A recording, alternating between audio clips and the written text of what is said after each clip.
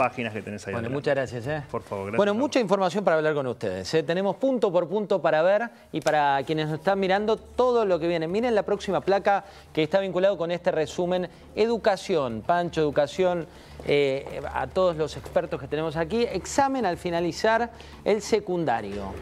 Un dato con el que la campaña de miedo había corrido, que era que la universidad iba a dejar de ser gratuita, se ratificó que es gratuita, pero Pancho va a ser paga eventualmente para extranjeros o eh, quienes no, tengan nacionalidad. Exacto. No radicados. Acá es importante, eso hay una, una diferencia. Bueno, seguramente decíamos, todas estas cosas tienen que pasar.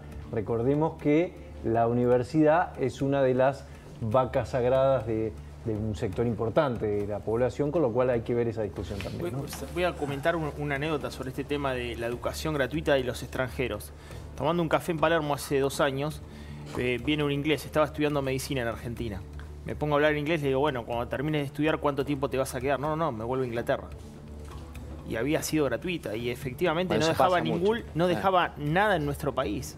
O sea, venía obviamente a tener una muy buena educación en un país que se lo da gratuito. Bueno, y el examen, y también tenés la posibilidad de tener un curso de nivelación, eventualmente para entrar a la universidad, o podés tener la posibilidad de dar un examen. Ese es otro de los puntos que tiene el capítulo de educación. Placa siguiente con más información de esto que es el proyecto de ley de, la Argentina. Jubilaciones, acá hay un punto, y ya vamos a algo de comercio exterior con, con Marcelo. A ver, le pusimos discrecionalidad al Poder Ejecutivo tras suspensión de la fórmula.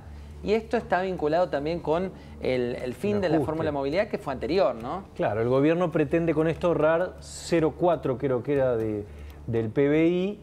Fíjate que las últimas fórmulas eh, jubilatorias todas fueron cambiadas. Evidentemente este es uno de los nudos gordianos de la Argentina. Las jubilaciones explican todo el gasto, el, 60% del gasto lo explican jubilaciones y gasto social.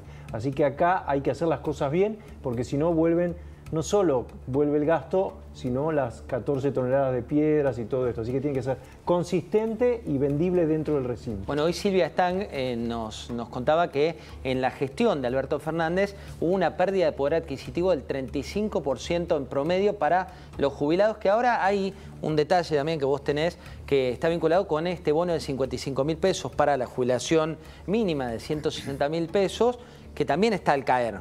Que, que, efectivamente se va a dar a partir del, mes de enero. Y la fórmula jubilatoria, ¿sabes cuánto dio? ¿Cuánto? Normalmente 110%. O sea, imagínate que si no hubiesen existido los bonos, la ayuda del PAMI, etcétera, los jubilados hubiesen perdido por goleada. Pero ojo, que no tienen que volver a cometer el error de si es sustentable el sistema futuro y cómo hacerlo sustentable. Porque cuando vos eh, tenés, eh, das derechos, lo tenés que hacer con deberes. El deber es cómo lo financio. No puedes dar derechos sin tener los recursos para financiar el sistema. Lo que pasó con las moratorias. ¿Es justicia social? Sí pero primero los deberes. No vuelvan a cometer el error de querer dar, digamos, de sostener derechos sin cómo vas a financiar este sistema que es infinanciable. Fíjate que de cada 10, 7 de las jubilaciones nuevas son sin aportes suficientes. Sí, que fue una buena noticia para esos 7, pero también en términos del Estado hay que pagarlo. Marcelo, términos de eh, comercio exterior, ¿no? Mitos y verdades. Hay unos que te dicen, bueno, con esto las importaciones cierran todas las pymes como en los 90. Y hay una diferencia sustancial, ¿no? Que es la relación de la convertibilidad versus tipo de cambio que es móvil. Por supuesto. El primer mito es que la importación te destruye la industria local. Eh, cualquier país del mundo que funciona tiene altísimas importaciones y altísimas exportaciones. El año pasado el Banco Mundial dice que la Argentina es el país de Latinoamérica con menor importación en relación a la dimensión de su economía. Y la Argentina está muy mal. Por lo tanto, el problema es que tu economía funciona mal, no que te abrís. Si tu, economía funciona bien, te abrís, competís, exportás, importás, participás de, de flujos de inversión como cualquier lugar del mundo. El 90% de todo lo que se importa es para producir. Son máquinas para producir, insumos para terminar procesos productivos, tecnología para mejorar la competitividad. Aislarte te empobrece. Por lo tanto, ahí tenés un mito.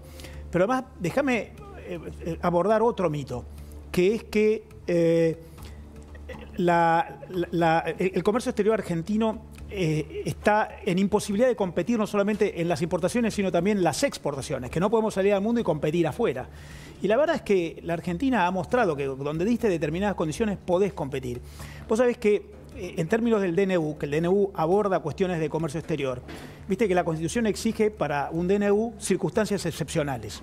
Justifica un DNU que haya circunstancias excepcionales. Comercio exterior. La Argentina este año tiene la menor participación en el comercio exterior mundial, el comercio internacional de todo el planeta, de la historia. 0,25%. Cuando empezó el siglo, hace 20 Menor participación en el comercio exterior de, la, historia. 0,25%. Pero son los 16 días de mi ley.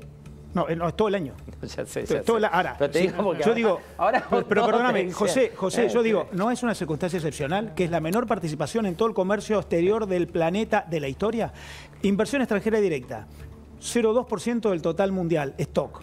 Cuando empezó el siglo, hace 23 años, era 0,9, hoy es 0,2, perdiste 75%. No son circunstancias excepcionales. O sea, en la medida en que vos venís así, esas son circunstancias excepcionales, de modo que hay que tomar el toro por las astas y legislar en consecuencia. Ay, hay que romper ese ciclo. Bueno, juntos podemos lograr una ciudad más limpia y sustentable. No tires las colillas de cigarrillos al piso, apagalas y tiralas en los cestos papeleros.